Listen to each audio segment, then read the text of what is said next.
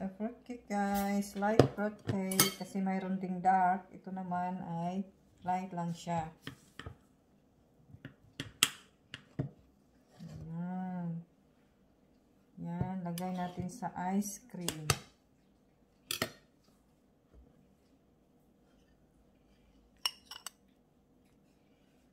Ang ice cream natin ay ito guys. Peter's ice cream. Yan.